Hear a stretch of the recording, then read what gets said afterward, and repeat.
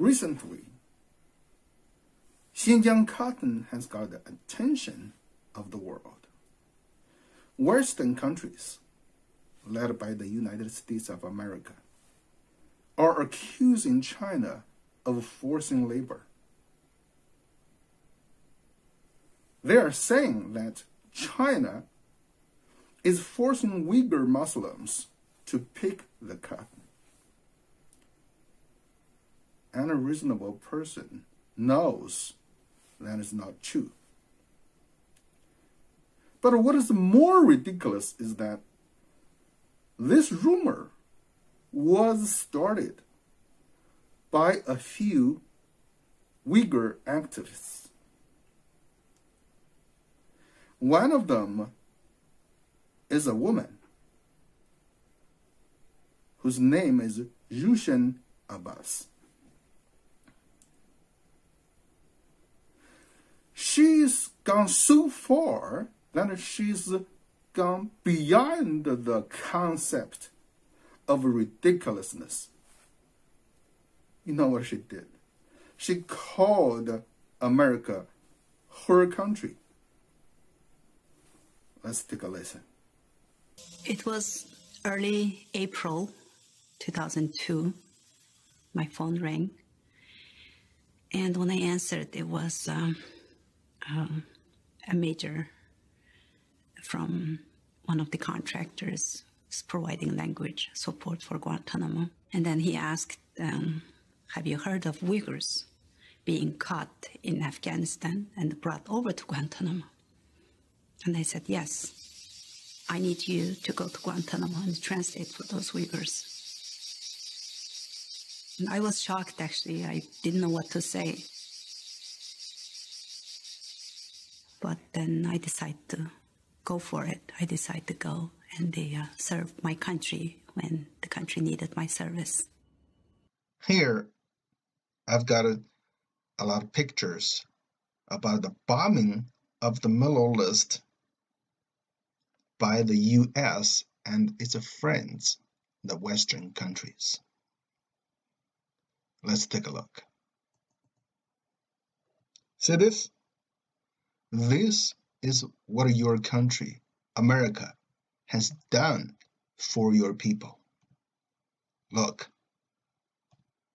Hmm? So, see how these people are living? Hmm? See that? Rebels. Hmm?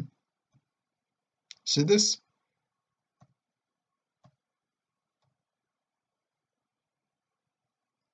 See? What a beautiful woman and what a beautiful baby. But they're homeless.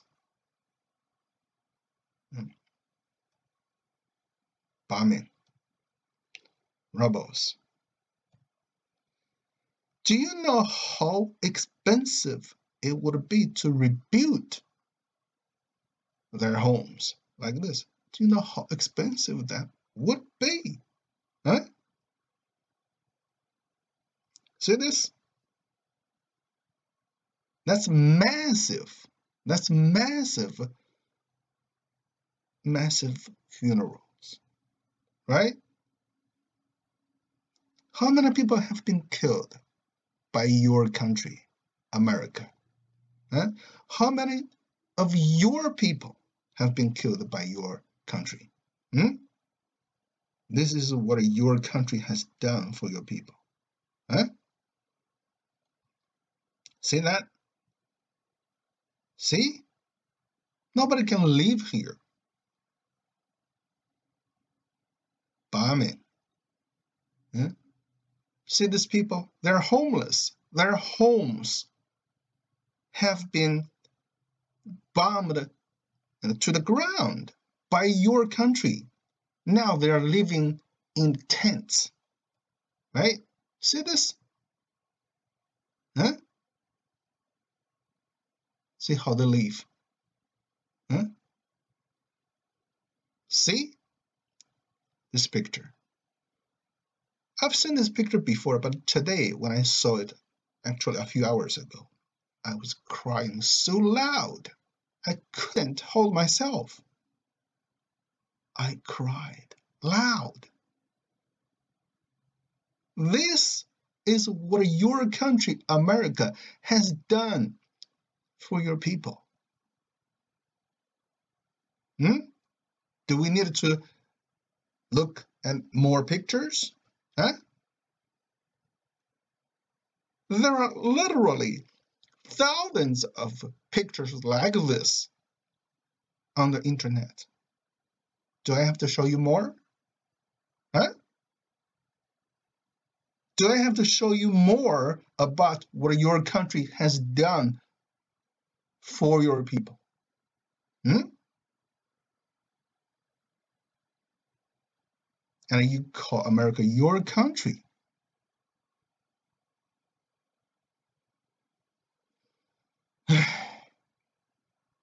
I don't know what is more ridiculous than this. But when I was saying there was nothing more ridiculous than she called America her country. But then she surprised me one more time and listen again to her. The men always say that they had so much faith and trust in United States government, but uh, turned out to be that was not what they expected, and they were disappointed. I was too. I was disappointed in a legal system in U.S.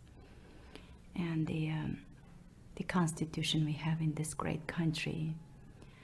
Um, how our forefathers built this country on based on what values.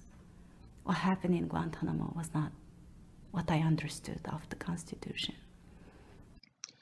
This is a book published by the US government. It's called The Outline of US History. It's free. Anybody can uh, search for it online and read it. Totally free. Right? This is in the PDF format. It's not easy to edit, so I made it in the Microsoft Word format for it to be more editable. And now let's take a look at what the forefathers did during the time of American independence. Right? Back then, the America, uh, the U.S., uh, not the U.S. yet, right? America was uh, the colonists was too weak to fight for themselves. So America sent Benjamin Franklin to Paris in 1776. Take a look at here. Right? His wit, guile, and intellect soon made their presence felt in the French capital and played a major role in winning French assistance. Benjamin Franklin was one of the forefathers. This here means France didn't ask to help. It was America who asked France for help. Because what? Because of uh, France and the UK were enemies forever. But that's all right, right? So France came and helped, right? Helped. And uh, take a look here. France began providing aid to the colonists in May 1776 when it sent 14 ships with war supplies to America. But here, pay attention. Huh?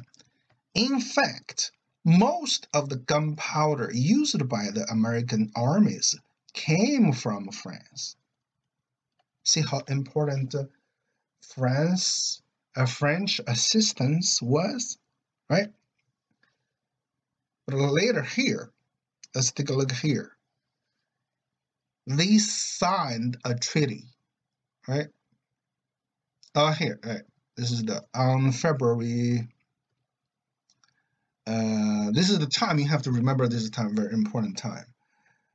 Uh, 1778. They first signed this commerce treaty, but that's uh, uh, the commerce, right? But here is the more important one. They also signed a treaty of allies, which stipulated that if France entered the war, neither country would lay down its arms until the colonists won their independence. That neither would conclude a peace with Britain without the content, con, uh, without the consent of the other, and that each guaranteed the other's possessions in America. This is very important. But later, let's take a look later what the forefathers did. Here. In 1793, France had trouble. Had trouble with Britain, Spain, and Holland. All of them three were in war against France. So according to the Franco-American Treaty of Alliance of 1778, the United States and France were perpetual allies, right? And the United States were was obliged to help France defend the West Indies. Let's take a look at what here, right? What happened here? On April 22nd, 1793, Washington, Washington, George Washington, the first president of America, actually the chief of the forefathers, right? Effectively abrogated the terms of the 1778 treaty that had made American independence possible. Here, George Washington, chief of the forefathers, refused to help a friend. When America needed help, the friend came and helped. But when the friend was in trouble, the forefathers refused to help. Funny, huh? This means the forefathers, the so-called forefathers by Rushan, were only oath breakers, were betrayers. And it was this people that Rushan called forefathers. Oh my God. Oh, oh, oh my God. This, this Rushan woman just no shame at all. This Rushan woman is so ignorant that she didn't know about the American history.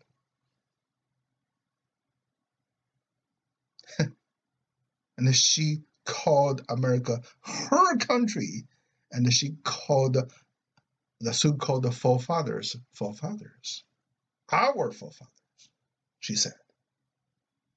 Oh my God. Now let's come back to Xinjiang cotton.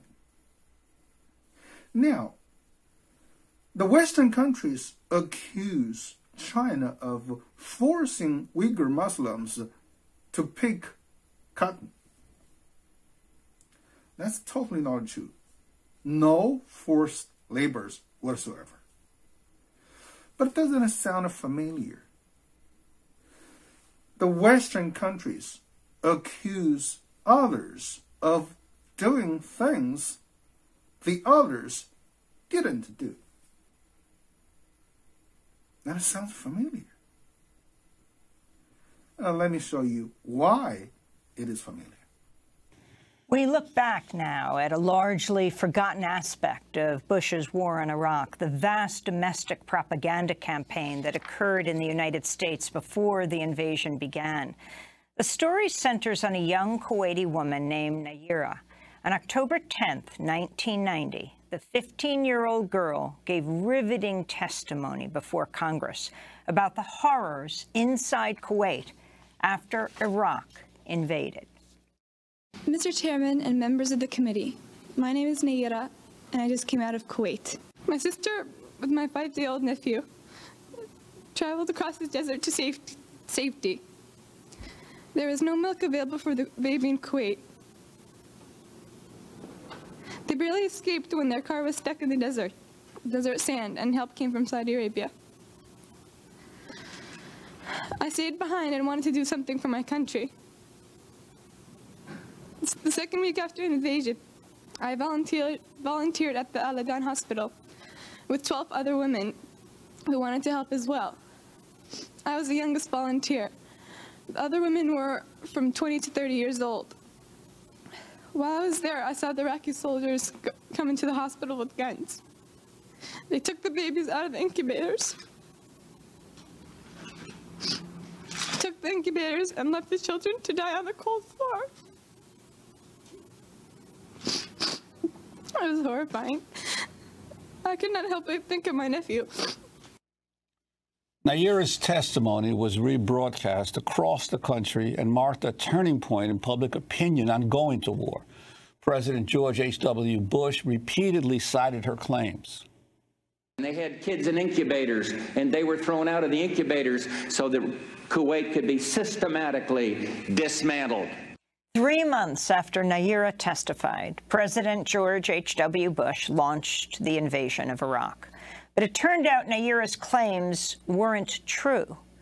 No human rights group or news outlet could confirm what she said. It also turned out Nayirah was not just any Kuwaiti teenager. She was the daughter of the Kuwaiti ambassador to the United States, Saud Nasir al-Sabah. She had been coached by the public relations firm Hill Knowlton, which was working for the Kuwaiti government.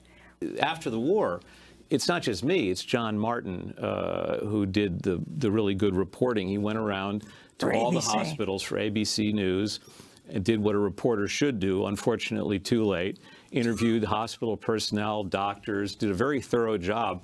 Nobody could cite one instance of a baby being pulled from an incubator by uh, Iraqi soldiers and killed.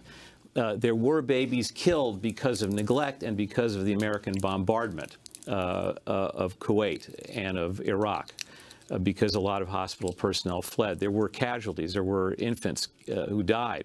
But there were no uh, babies killed by being pulled from incubators. It never happened. You see why it is familiar?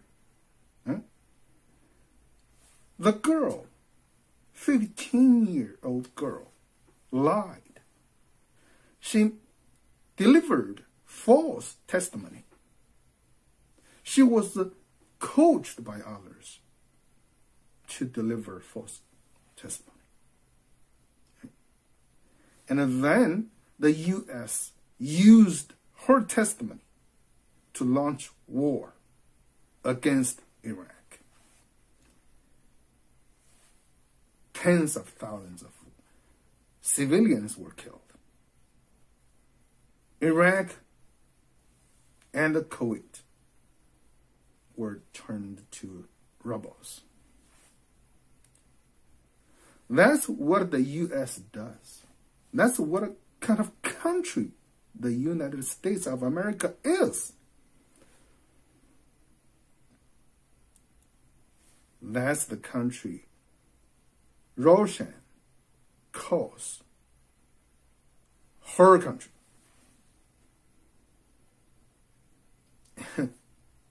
That's just the beginning. Right? And then let's see later what the U.S.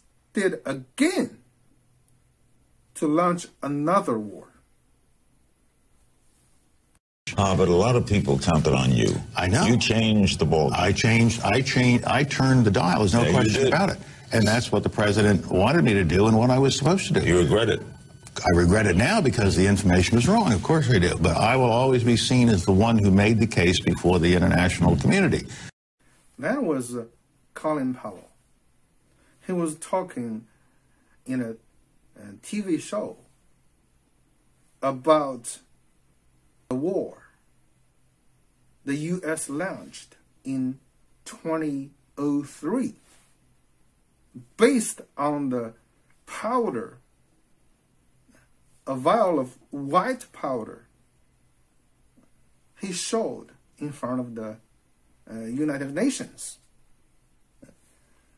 He said it was uh, anthrax. So, and uh, something else, the, the weapon of uh, mass destruction. And they all lied. And they used the lies to launch another war against Iraq. And we all know what happened after that. The country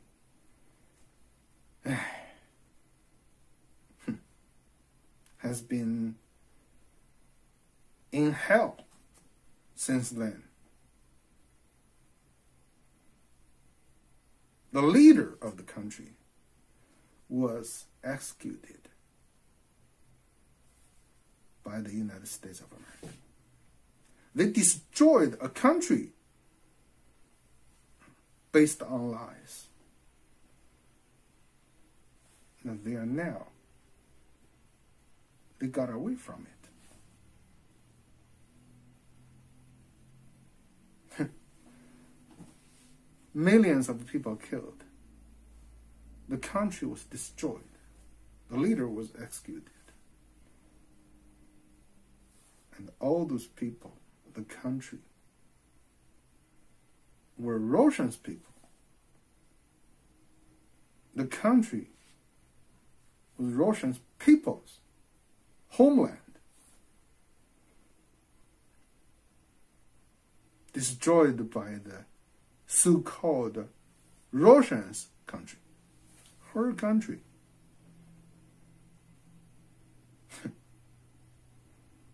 oh my god. It's like a, a hooker who has a sugar daddy. The sugar daddy gives her a lot of money to spend and to sleep with her anytime he wants. And meanwhile, the sugar daddy is killing her family. That's what a Rushan is.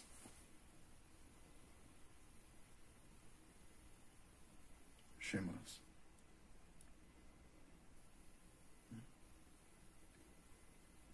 But Rushan, just I, this this kind of people like like her just you cannot understand them because they they they are not human.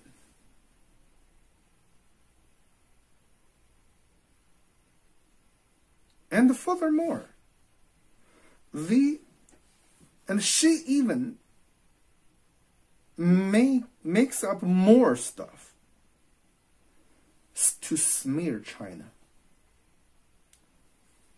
Let's take a listen. So um, China is basically right now um, being the totalitarian uh, regime. Everybody knows what China is doing to the Uyghurs, to the Tibetans, to the Southern Mongolians. Now she wants to drag Tibetans and Mongolians into this. Of course, uh, she's lying. You take a look on on uh, internet, YouTube, right? Let's let's take a look. Let's take a look together, right? But You go to the YouTube and you search for things about Tibet. Let's say uh, traveling Tibet, right? Let's search. You see, there are a lot of uh, videos posted by individuals. Of course, there are videos posted by the government, the Chinese government, but most of the videos are by uh, in by by individual YouTubers, like this girl. Now she's a foreigner, right? She's a foreigner, and uh, I think uh, this girl is also a foreigner. There are many foreigners. I think this this is also a foreigner. And there are foreigners too. Oh, oh, there are foreigners too. Actually, there are also the biased people. They came to China to find something bad about the Communist Party, but they, they cannot find any. So they're just bad mouthing. They are bad mouthing the Chinese government or the Communist Party, like this couple. Right? But let's take a look at this girl's video, right?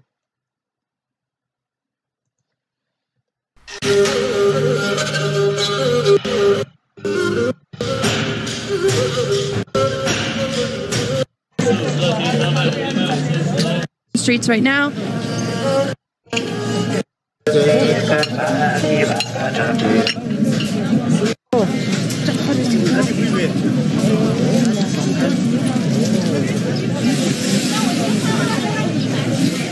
So this is the prostate bound pray, and they are just doing a pray here. So you need to hold.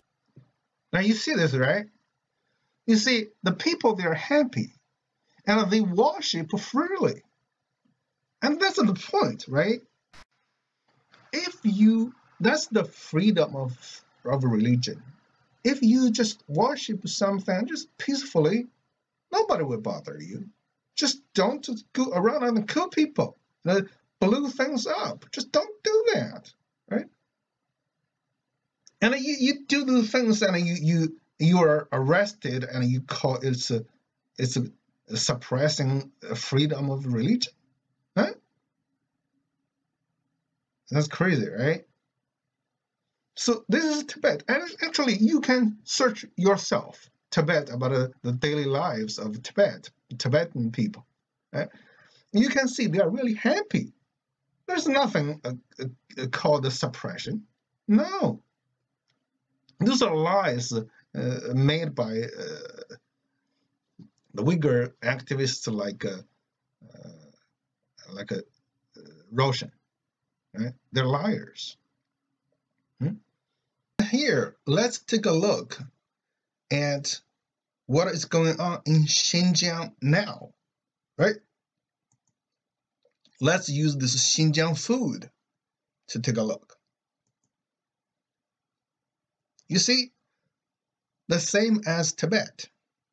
All this, most of this videos were posted by individual YouTubers. You see this guy, he's a foreigner, right?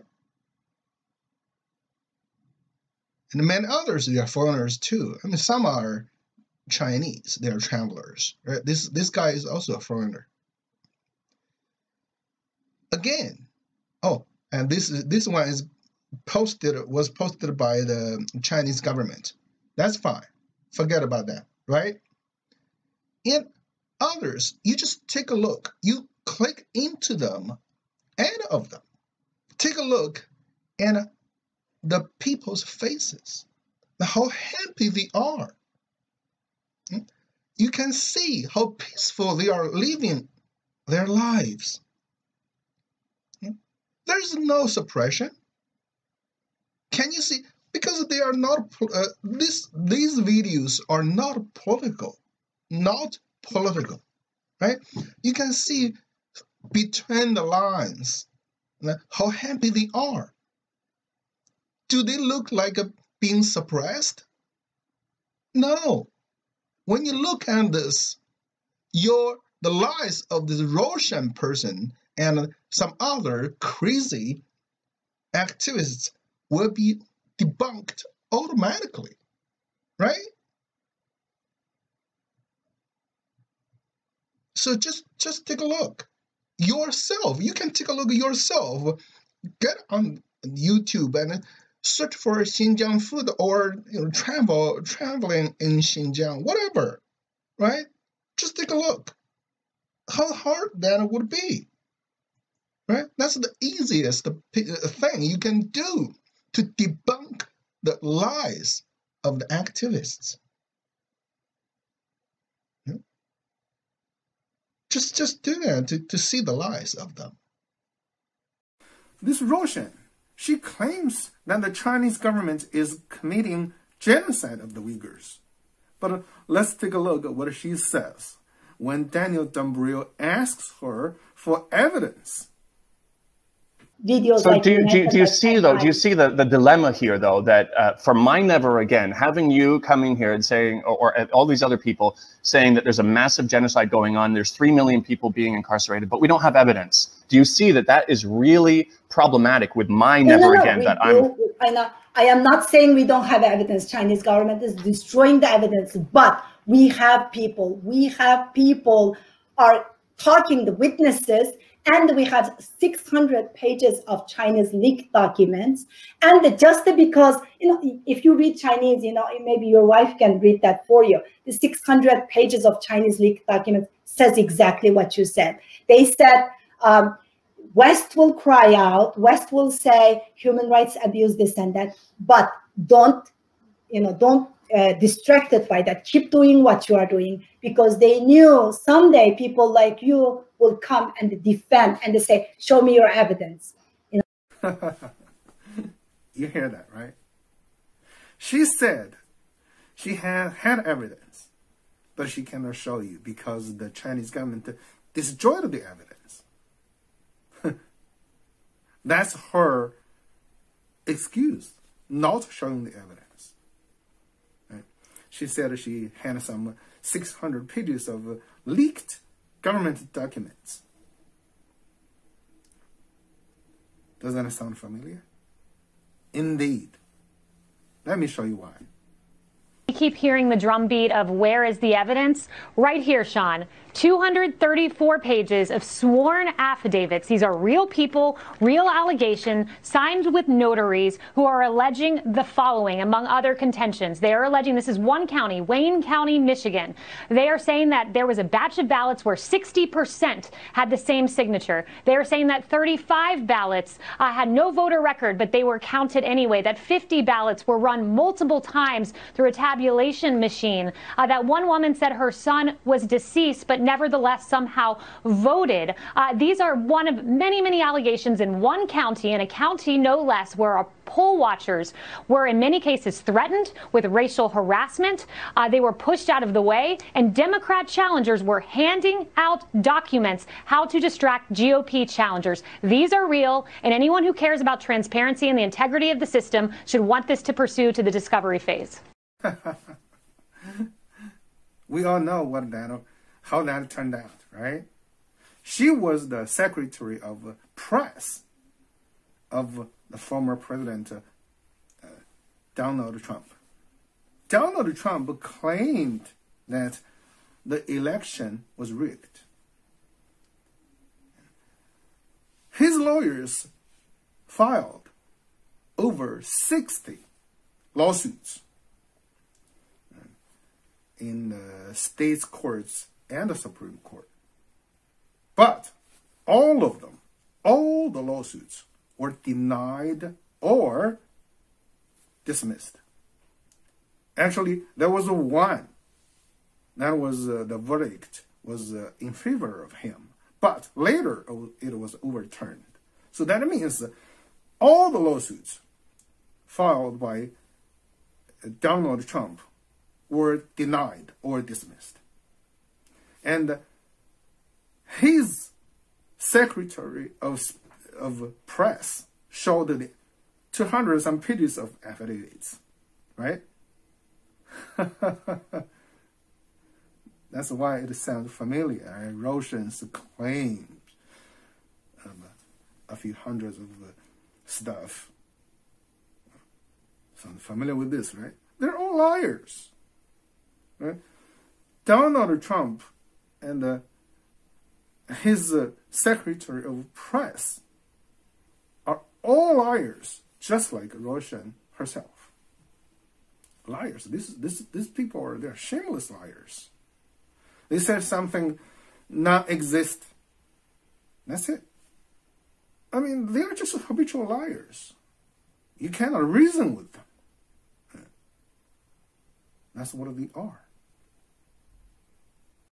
Yes, liars are like that. They don't have evidence, and they want you to believe them. uh, they just they they're the brain their brains some they're short of they're missing some parts their brains they they don't come back around think about their logic they don't do that let me ask this uh, Rushan, this liar. If you say you have evidence, but you don't show people, you want people to believe you. What if I say you are a murderer? You murder somebody. I don't have any evidence. And I want people to believe me. And so you are a murderer. And you will be sentenced to death or life. If you are sentenced to death, you will be executed right now.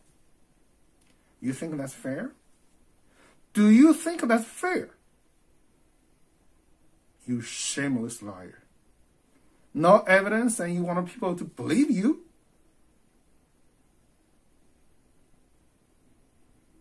The Supreme Court of the United States of America dismissed all the Donald Trump cases for lack of evidence.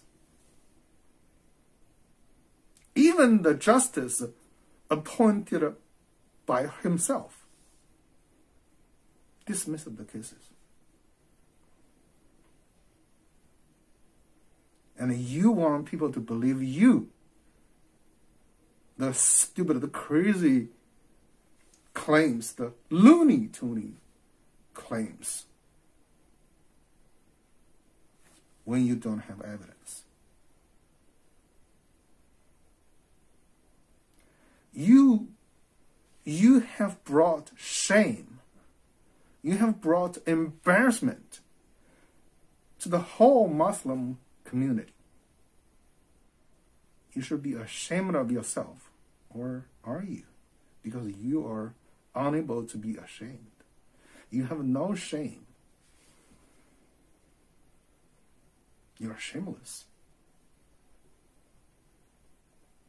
And there's another activist. He he said he's uh, in Australia. Let me show you the face of him. And that's him. This guy, this liar. And uh, all his tweets are about some just some claims, right? no evidence. And uh, he downloaded something like this, right? And he says some forced labor. You know, just, I mean, all mothers do this. My mother did this too. Right? Because there's a little child, where are you going to put her or him?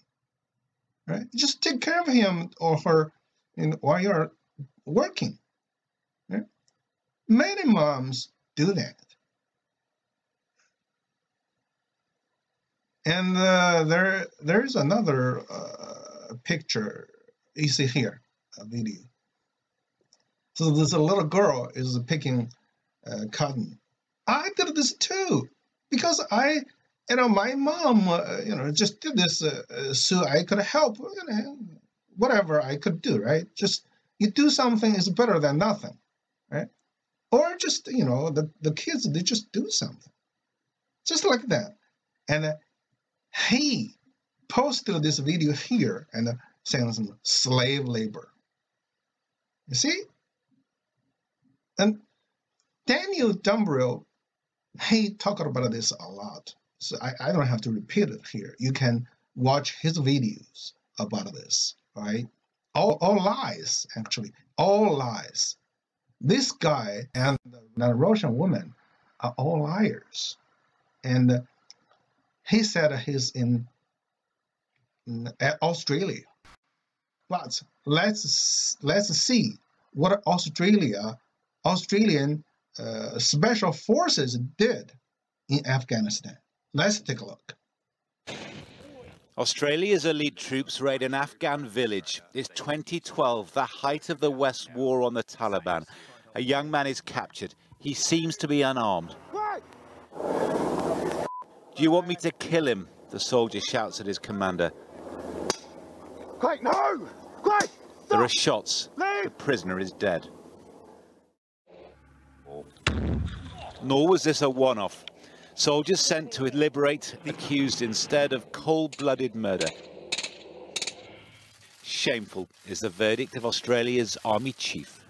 To the people of Afghanistan, on behalf of the Australian Defence Force, I sincerely and unreservedly apologise the inquiry condemns Australia's SAS for a so-called warrior culture, with young soldiers ordered to shoot prisoners as a first kill, a practice known as blooding. The report calls it all possibly the most disgraceful episode in Australia's military history. 39 Afghans were unlawfully killed by 25 soldiers, overwhelmingly from the SAS.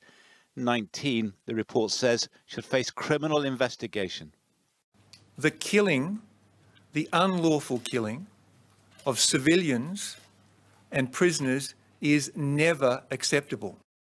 Australia's SAS bears the same name, boasts the same Who Dares Wins motto, and is modelled upon Britain's own Special Forces, which has faced similar allegations. There's been an inquiry here, but no one will face prosecution. We lost this war, and one of the reasons for that is that the message we were giving to Afghan people, which is we're here to protect you, was being totally undermined by people who would raid houses in the middle of the night and murder people who were not involved in any form of terrorism or insurgent activity. The UK government is changing the law to make it harder to prosecute soldiers for alleged war crimes. In Australia, the disgraced SAS unit is to be disbanded. John Ray, News at 10. This is a this person called the Arslan. Right? You see what the Australian Special Forces did to your people. And you you say nothing. And while you are claiming that China is committing uh, genocide, and that's not true. You see what kind of person you are. You and a Rushan, people like you are liars. You have brought shame to the Muslim community. The next video shows how evil the United States of America is. And it's about a U.S military official talking about China and the Uyghurs. Take a look. We're in Afghanistan as we were in Germany post World War II because it is the only hard power the United States has that sits proximate to the Central Base Road Initiative of China that runs across Central Asia. If we had to impact that with military power, we are in position to do so in Afghanistan. Second reason we're there is because we're cheek and jowl with the potentially most unstable nuclear stockpile on the face of the earth in Pakistan.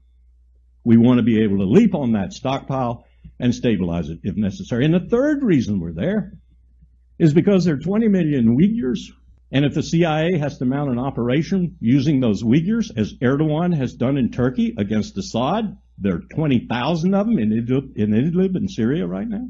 Well, the CIA would want to destabilize China, and that would be the best way to do it, to foment unrest and to join with those Uyghurs in pushing the Han Chinese and Beijing from internal places rather than external.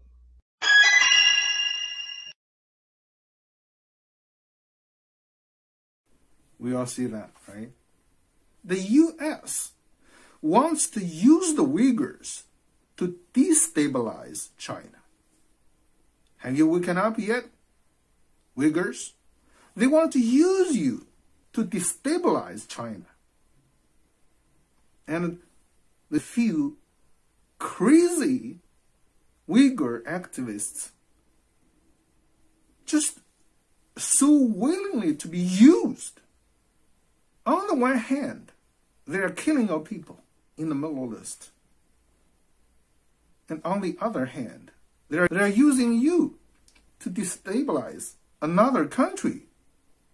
You, you, you cannot see what is going on here? What is wrong with you? It's not too late to turn back. To, if you keep doing this, in the end, you will pay for your craziness. You will pay for your crimes.